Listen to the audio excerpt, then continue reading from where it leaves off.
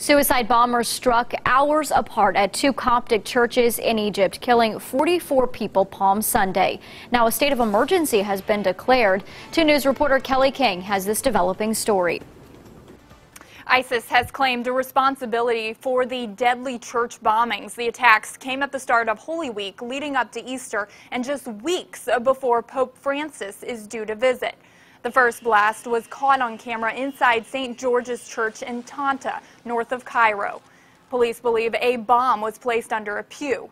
Hours later, another explosion at St. Mark's Church in Alexandria. This one so strong it destroyed at least 15 shops nearby. Officials say a man blew himself up after police stopped him from entering the church. The bombings left at least 44 dead and more than 120 people hurt. Egypt's president has declared a three-month state of emergency. He's ordered military units to help police in the aftermath of the attacks. Today we have taken the decision to form the Supreme Council to counter terrorism and extremism in Egypt.